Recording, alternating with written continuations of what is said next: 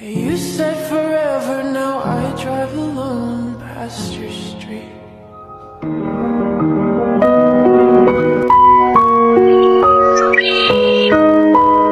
Thank you.